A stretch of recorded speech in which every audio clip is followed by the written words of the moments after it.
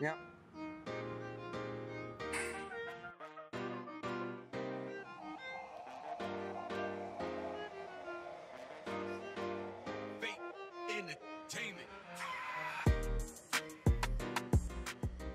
Hi, wir sind Paul und Jill aus der Q2 dem Chemie-Grundkurs und wir haben den Versuch des brunnende Gummibärchen für euch gemacht. Und zwar werfen wir da ähm, ein Gummibärchen in unsere geschmolzene Chemikalie.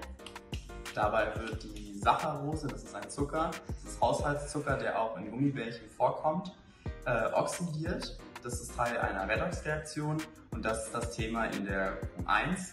Zucker äh, ist dann Thema in der Q2.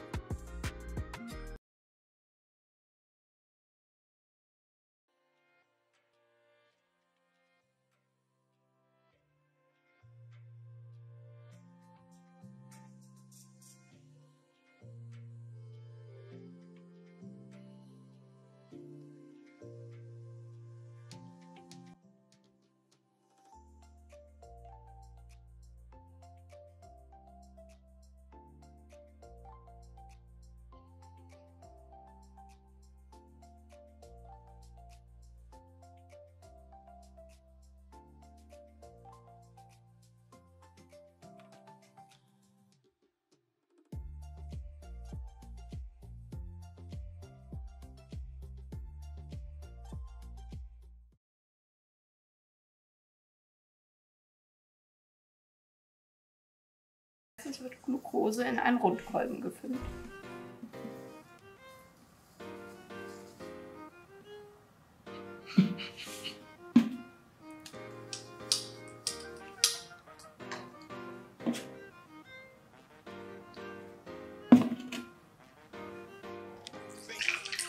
Als nächstes wird Natronlauge dazugegeben.